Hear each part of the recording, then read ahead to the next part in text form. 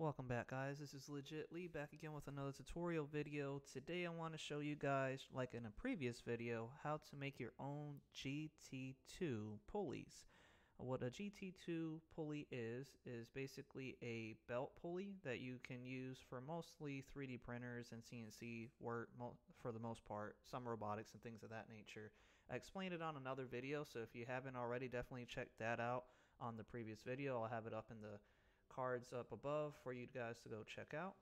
Um, but today, like the last version, I want to show you guys how to make your own versions. So uh, the last version I showed how to use and make it with a laser or basically a CNC machine that can like cut out a pulley out of wood or even like aluminum if you guys have a type of CNC machine that can do that um, by using a generator. This time we're going to take a little bit of an easier approach and be able to print it out on like a 3D printer. So we're going to be making a 3D model version. And we're going to make it really simple. This video shouldn't really be too long. Hopefully you guys can follow along easily. And if you have any questions at any time, definitely comment down below or if you have any trouble, definitely let me know so I can help you guys out here. But it should be pretty simple and basic. I don't think it'll be too complicated for you. There is going to be two things you're going to need. Um, so the first thing you're going to need is actually this program called OpenSCAD. And um, once you get there, you you know Google search OpenSCAD, and uh, once you do, just go to Downloads, this tab right here, and then you'll scroll down whether you have a Mac OS or a Windows. I have a Windows operating system and it is running a 64-bit version. So what I did was just get the Axel installer, so executable installer, or you can get the Z, the zip package, which you know you use like 7-zip or WinRAR or whatever you have that you, you like to use. Uh, once you download it, um, you just install it. It's pretty basic and simple. And uh, once you get that installed, the next thing you're going to need is going to be this right here. So this guy is on Thingiverse. Um, it's a site here that you guys can download this free 3D information. Um, so we're going to be using this to manipulate the ones that he already designed, which is going to be like a very fast shortcut. So uh, for, and once you do go here, I'll have the link in the description down below once this video is published so you guys can actually look into my video description and download it or at least go there and download it yourself. Once it's downloaded, you're probably going to have to unzip it. Usually these are zip files. And um, once that happens, then you're going to go to OpenSCAD. So we'll get that up. Once you do, you'll see this right here showing, um, well, you have to go to new. There won't be anything recent. So if you go to new um, and you'll go to file, open, you'll go to where you downloaded your um, the pulley file information that you just downloaded from that Thingiverse page that I mentioned a second ago. Um, so wherever you downloaded it to, I just downloaded and unzipped it to my desktop so I know exactly where to go. Click on it, you click open, and this is what you'll get for a preview. So it's pretty um, easy to use for the most part. Um, it's not hard at all because if you're into coding, this is pretty much basic information that you would use for coding. So like uh, whether you do JavaScript or um, uh, Arduino coding or Python, whichever one you use. These are commented out just to give you the information. This is from Thingiverse, gives you the file information for the website. Anyway, once you do have it open, you'll see that this one right here has one, two, three, four, five, six, seven, eight, eight teeth, right?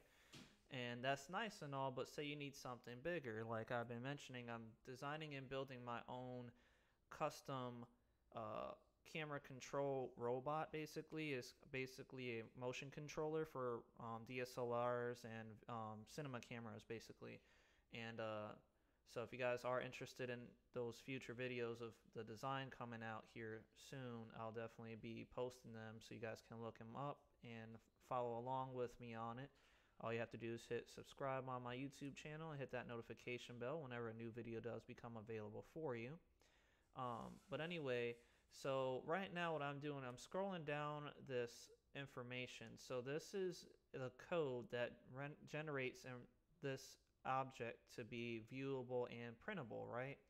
So if you just go down to line 23 here, you can see teeth equal 8. So we just counted out it was 8 teeth, right? So what you're gonna do is instead of it being eight, you just type in the number that you want. So say if you didn't know the number that you needed, right? You can go back to that first video that I mentioned before where I talk about these GT2 generators that you can use online. And uh, once you do, you, you can use that information to find out how many teeth you need. And then you can go back to this program here, the SCAD, and then type in the number of teeth. I believe my teeth was 260 on the video. I can't really remember at the top of my head right now. Well, just to say for this um, testing purposes that it is. So once you typed in in uh, 260, you're gonna go to here, and then you'll see it says preview, or you can hit F5 on your um, keyboard to generate the preview. But if you just click on here, now it generated and it's super huge. Why? Because it's basically 260 millimeters around because it has 200 teeth in it. For the most part, it may be a little off here and there, but for the for most part of the information, it is 260 teeth.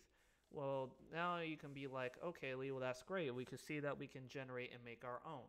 Now, two things. There is two ways to go about this information I'm going to give you right now. The first thing is you're going to be like, okay, that's great, but obviously I need a bigger hole than this small little baby hole that's here. So you can fix that by two different ways. Um, so if you're needing a specific way to set this up, you can just generate the STL right now, export the STL, and then bring it into like a uh, Fusion 360 Blender, um, or if you use uh, Tinkercad or any of the free programs that you can use to actually boolean basically or cut out the exact dimension hole that you need. Or you can just do this. Go scroll down some more and you can see right here, motor shaft equals 5.2. That's the radius or the inner diameter of that hole right here. So it's generating for a basically 5 millimeter diameter shaft for a NEMA 17 stepper motor shaft because those are basic generic stepper motor um, dimensions for the shaft anyway for like 3D printers. Um, but if you have like a NEMA 23, those are around uh, I think two or three five, something like that, to like eight millimeters in diameter. So that would be a bigger, fatter shaft. Um, so you would have to change this, right? So I need a, I don't really need a shaft. I need a bigger hole because I'm mounting this to a bearing. So the bearing dimension, I believe the diameter should have been like 140 if I'm not mistaken on the video. It doesn't matter because I could just go back, check out my dimensions and fix it. I'm just trying to give you guys a good um, refer- representation here. So if you just click on, uh, you know, remove that 5.2, change it to 40. You can do 40.2. The reason why he adds 0.2 instead of exactly 5 is because uh, at least I'm not 100% sure as I never talked to the guy, but my theory is he makes the holes bigger because if you're printing this out on an FDM printer, there is going to be shrinkage because you're melting plastic and then the plastic once it cools it shrinks and binds together. So once it melts and then it shrinks from the cooling it may not be exactly 140 so usually guys like me who are very meticulous at wanting to make sure that their measurements are completely accurate, they would try to account for that shrinkage by adding like a 0.2 or a 0.5, somewhere around there to help make sure that the dimension is still good enough to fit on a motor shaft or a um, bearing or something of that sort.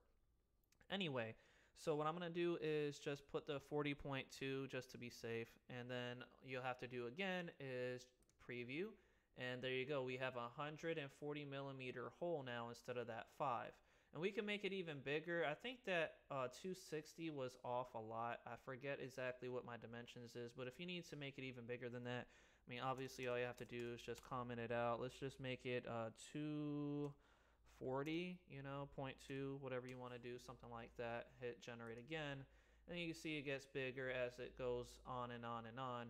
So if you're really trying to find out the real circumference of all this, you can actually just find out here. So you like if you measured out, well, my out inner diameter or is needs to be like 340 and my outer diameter is like 360 so we can type in 340.2 if you want to do that and uh, click generate. Now you see it's bigger and if you see that your teeth is too much you can dial the teeth back so let's do 200 see where that gets us and uh, we don't change that we leave the teeth there's no points in this one because then you probably throw off the amount of teeth.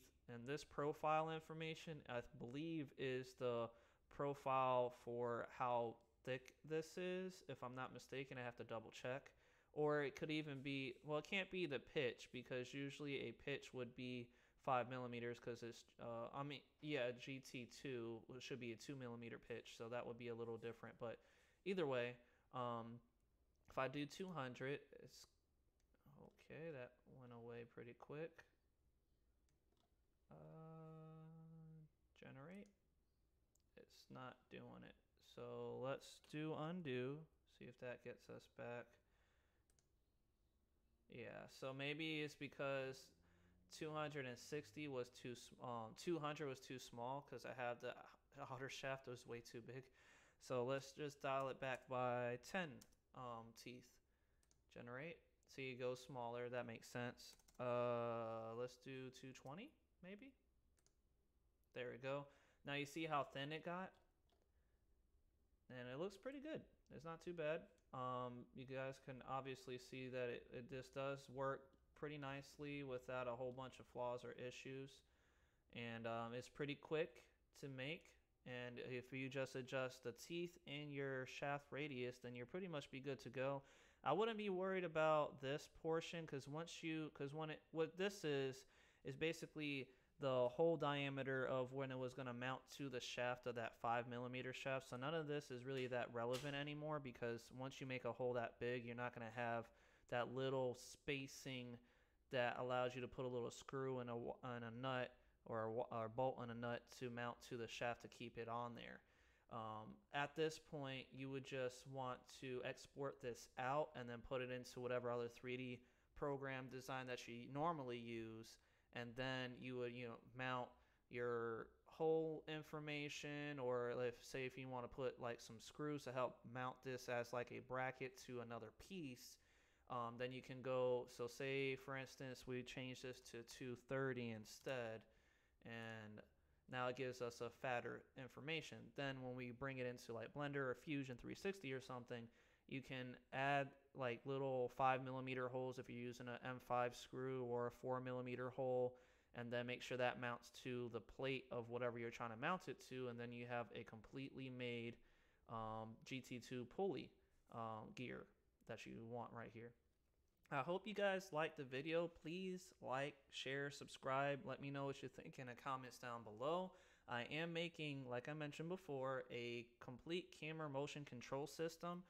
And uh, we'll be doing a lot of programming with it and doing some little minor things. So first off, we'll probably start off with like Dragonframe program. And, you know, I'm going to be making my own PCB with some stepper drivers and um, probably programming a, like some different Arduino boards to see which one is um, good with it, which ones don't work all that great. I want to do a lot of testing with it. So if you guys are interested in making your own, or you know, even if I make it to where I can mass produce the boards or whatever the case may be, I may even start selling them for you guys. Um, definitely check out those videos. I'm gonna come nearby future coming up in the next few weeks. I uh, hope you guys have a great day. Stay safe out there with this whole virus issue. I know I'm trying to. I appreciate everybody that watches. You guys have a great day. My name is Legit Lee, and I will see you in the next one.